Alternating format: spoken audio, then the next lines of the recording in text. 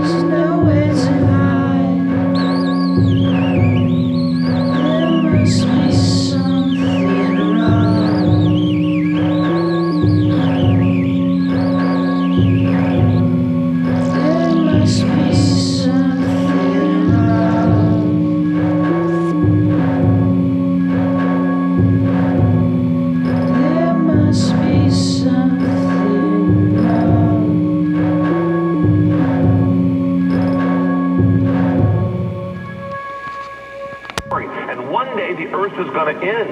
And one day, God's going to create a new heaven and a new earth. And one day, the Bible tells us in Revelation,